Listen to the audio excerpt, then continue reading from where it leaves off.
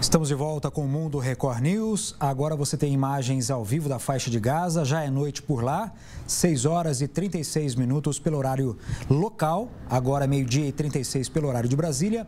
E a gente continua repercutindo as informações que chegam do Oriente Médio aqui com os nossos entrevistados. Quem chega agora é Samuel Feldberg, que é professor de Relações Internacionais e pesquisador da Universidade de Tel Aviv. Professor, muito obrigado por atender a Record News. E eu já começo perguntando o seguinte: a gente está falando aqui de mortos, feridos, ataques de um lado, de outro. Tem a questão também da ajuda humanitária, corredor humanitário.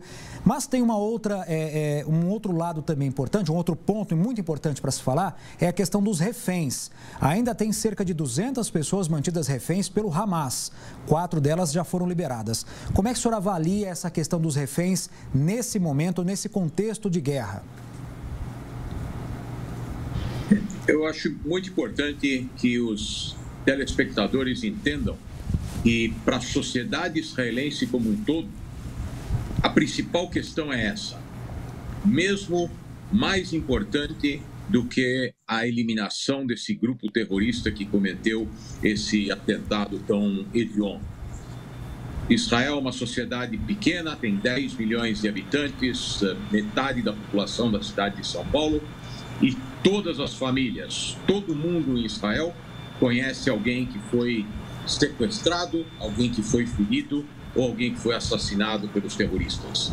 Então, quando todos estão preocupados em falar em corredor humanitário, em ser gasolina que vai ser roubada pelo Hamas, uh, em eventualmente uh, negociar para que as centrais de uh, geração elétrica voltem a funcionar todas as uh, preocupações em Israel estão ligadas à questão dos reféns.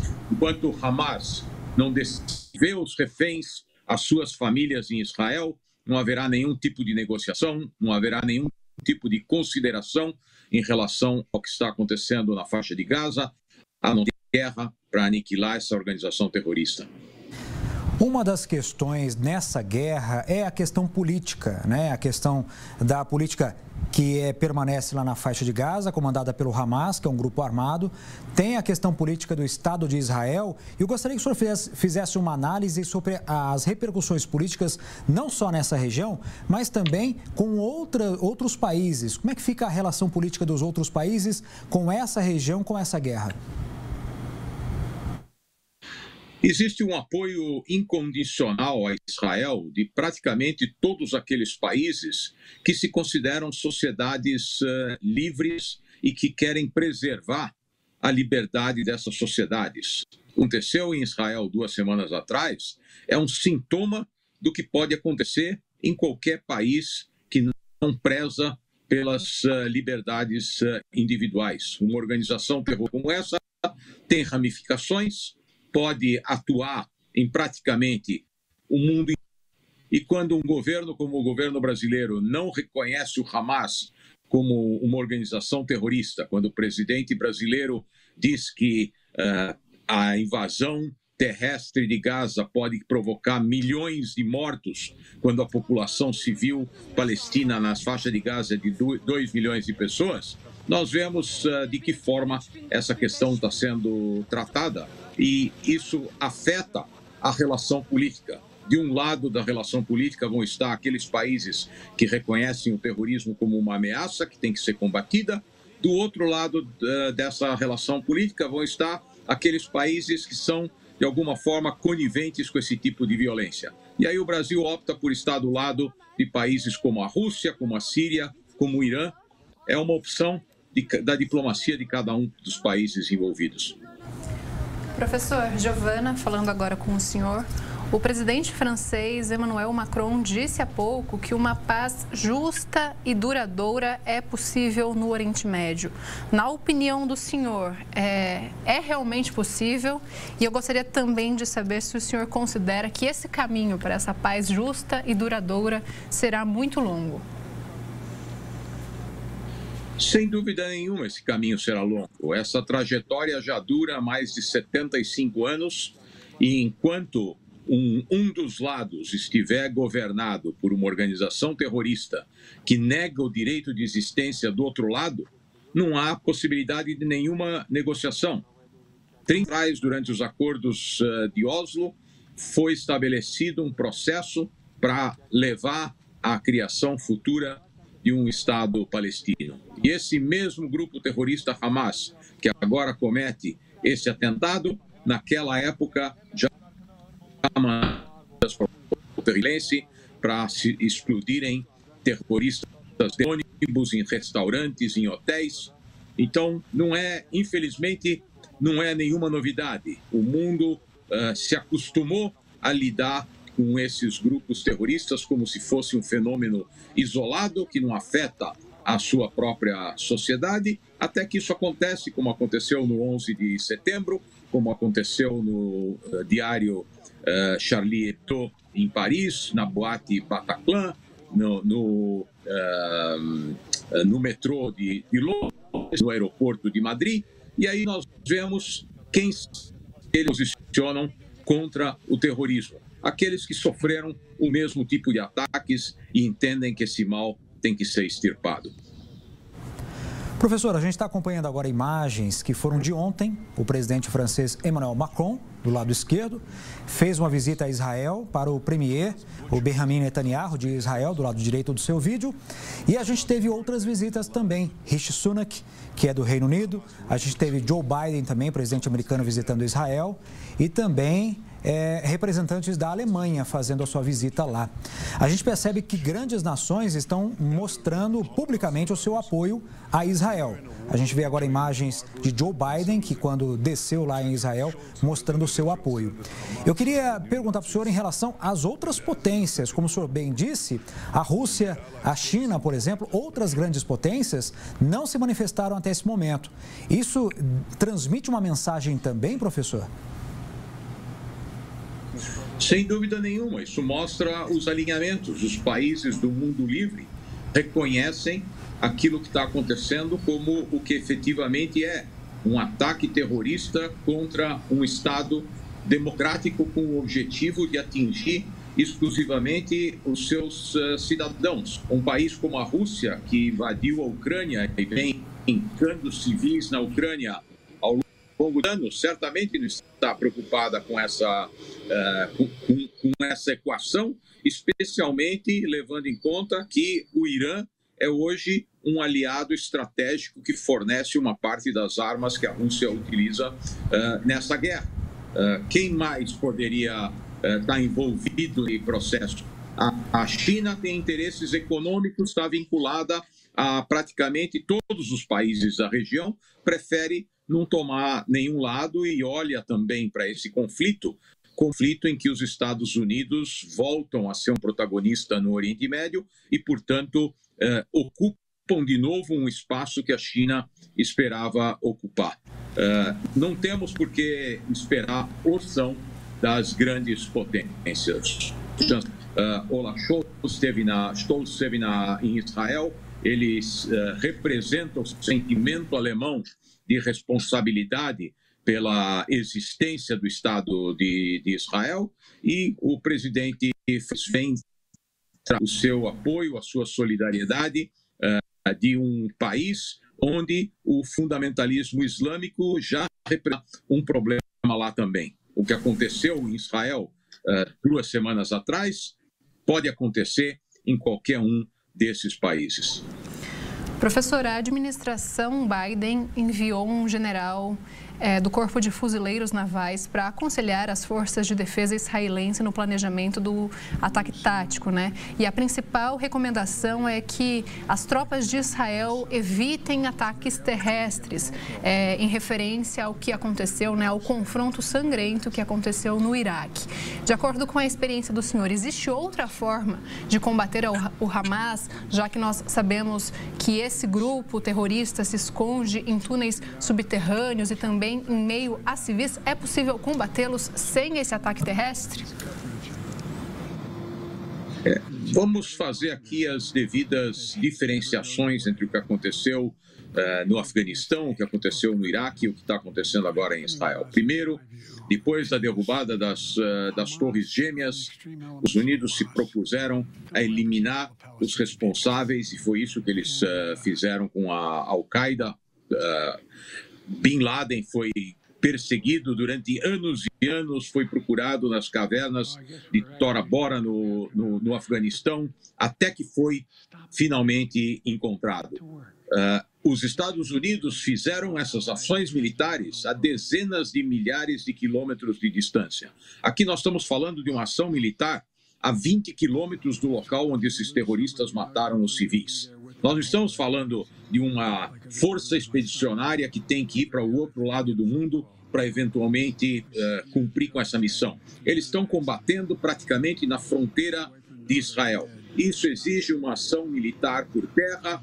Os uh, militares americanos estão coordenando com os israelenses, não estão instruindo os israelenses como, como atuar. Eles estão lá para mostrar o seu apoio Obviamente, eles têm experiência do, da, dos problemas que enfrentaram com, uh, com, com, essa guerra contra o terror, mas essa experiência os israelenses vêm acumulando há 75 anos, então talvez são o país uh, que mais experiência tem nessa área uh, no mundo. Os túneis são um problema, provavelmente por causa uh, dos túneis e por causa da dificuldade em identificar os locais onde os reféns estão presos, essa operação ainda não começou por terra, mas ela virá. Enquanto isso, os líderes e os terroristas do Hamas estão tendo que se esconder e se proteger dos ataques aéreos israelenses, que têm por objetivo eliminar a capacidade militar e ofensiva esse terrorista. Quando chegar o momento, as tropas vão entrar por terra e vão eliminar todos aqueles que estiveram envolvidos nos ataques do 7 de outubro. Professor, essa região do Oriente Médio é uma grande produtora de petróleo. Eu gostaria de falar agora em relação aos reflexos da, na economia sobre essa guerra. O senhor acredita que isso possa ser é, repercutido nessa questão econômica ou não? Afinal de contas, até agora a gente não vê muito o preço do petróleo é, variar né, por conta dessa guerra. Quais são os reflexos em relação a essa guerra? Haja vista que no, eh, na faixa de Gaza vai haver preciso uma reconstrução de toda a cidade. Como é que fica a questão econômica nessa guerra? Por um lado, os preços do petróleo ainda não se moveram muito porque não há uma intervenção do Irã. Se houver uma intervenção do Irã, a frota americana, que inclui um dos maiores porta-aviões do mundo, está posicionada no Golfo Pérsico e certamente vai uh, colaborar para impedir que os iranianos possam ter um protagonismo importante nessa guerra. Mas se isso acontecer, obviamente isso afeta o tráfego de petroleiros no Estreito de Hormuz, uh, no Golfo Pérsico como um todo, e isso leva a um impacto uh, nos preços do petróleo que é exportado a partir do Oriente Médio. Lembrando que os Estados Unidos acabaram de fazer um acordo uh, para eliminar uma boa parte das sanções na Venezuela, o que traz novos uh, volumes de petróleo para o mercado internacional. Uh, a questão da reconstrução de Gaza é algo que vem se estendendo desde 1993. Ah, não faltam recursos para ajudar a melhorar a condição econômica da população palestina na faixa de Gaza, mas esses recursos são recorrentemente uh, roubados pela, pelo Hamas. De onde vocês uh, imaginam que vêm os recursos que, são, que foram utilizados para construir ou comprar 5 mil foguetes que foram lançados contra a população uh, civil israelense? De onde vocês acham que vêm os recursos que foram utilizados para construir 500 quilômetros de túneis uh, no subsolo de Gaza? De onde vocês pensam que vêm os recursos que foram utilizados para construir todos aqueles edifícios de luxo que vocês viram a Força Aérea Israelense destruir, porque são os locais onde vivem os líderes dessa organização terrorista. Todos esses recursos que foram ganhados no mundo inteiro com o objetivo de melhorar a condição econômica da população civil de Gaza foram roubados pelo Hamas e utilizados para essas finalidades. Então, se a comunidade internacional está preocupada com a reconstrução de Gaza, precisa primeiro se preocupar em garantir que esses recursos vão chegar para a população e não vão, se, não vão ser utilizados para organizar outro atentado terrorista. Professor, agora falando um pouquinho sobre patriotismo, a gente vê que nos Estados Unidos é muito forte isso, né? A população apoia muito os Estados Unidos, o seu exército. Isso acontece também em Israel. A gente sabe que os militares israelenses têm um poderio bélico muito forte, né? Têm equipamentos sofisticados e têm grande experiência, como o senhor disse, que vem acumulando de várias operações de vários anos. Como é que fica o apoio de, da população israelense nessa guerra? Ele existe e é forte? É evidente isso? Sim, sem dúvida. O apoio é incondicional. Nós temos uh, em Israel, primeiro, todos os soldados israelenses da reserva se apresentaram voluntariamente ainda antes de ser convocados para uh, esse conflito. Essa é uh, uma, uma das características da sociedade israelense que mostra o engajamento de todos aqueles que podem contribuir. Todos aqueles que não foram convocados estão engajados na esfera civil. Foram criados grupos de apoio com, uh, por psicólogos voluntários para ajudar as pessoas das famílias traumatizadas. Foram criados grupos de apoio para cuidar das crianças cujos pais estão convocados, para cuidar daqueles, daquelas centenas de órfãos e crianças que ficaram sem os pais porque os pais foram assassinados pelos terroristas. Há grupos de apoio que fornecem refeições para os soldados que estão na fronteira aguardando as ordens para entrar em Gaza. Na televisão israelense, nós não vemos propaganda de nenhum produto. A televisão israelense, nos intervalos dos comerciais, agora tem de organizações não governamentais que oferecem todo tipo de apoio à população.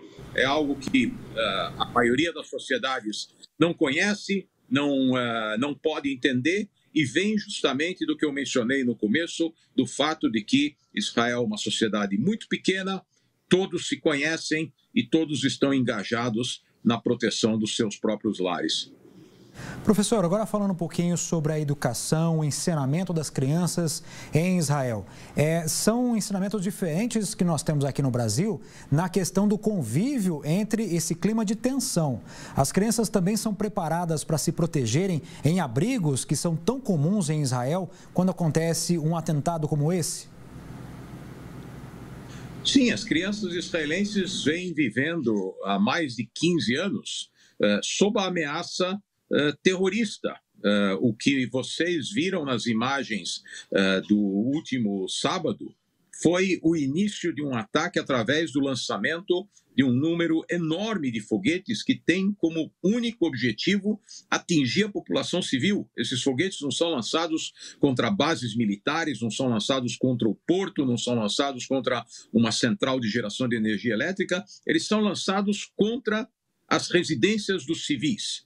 E as famílias em Israel aprenderam a lidar com isso. Cada bairro, cada quarteirão tem um abrigo antiaéreo. Uh, nos últimos anos, as casas uh, e os apartamentos também foram construídos, uh, cada um com um cômodo que pode resistir ao impacto de, de um foguete. E quando um foguete é lançado, soa uma sirene no local onde a sua queda é prevista. E, portanto, dependendo da distância da fronteira, as pessoas têm desde 15 segundos na fronteira de Gaza até em torno de um minuto e meio nas uh, zonas do centro e mais ao norte uh, de Israel. Mas imaginem vocês, telespectadores, uh, crianças, numa escola que, quando soa uma sirene, tem 15 segundos para conseguir chegar num abrigo antiaéreo. Essa é a forma como vive a população de Israel desde que o Hamas tomou o poder na faixa de Gaza. Uma realidade completamente diferente da nossa aqui no Brasil e por isso a gente tem que entender. Né, antes de tecer qualquer tipo de crítica em relação ao que está acontecendo agora no Oriente Médio. Eu gostaria de agradecer então Samuel Feldberg, que é professor de Relações Internacionais e pesquisador da Universidade de Tel Aviv, por essa entrevista. Professor, muito obrigado por atender a Record News. Uma boa tarde para o senhor. Eu que agradeço o convite e estou sempre à disposição de vocês. Muito obrigado. Muito obrigado e até a próxima.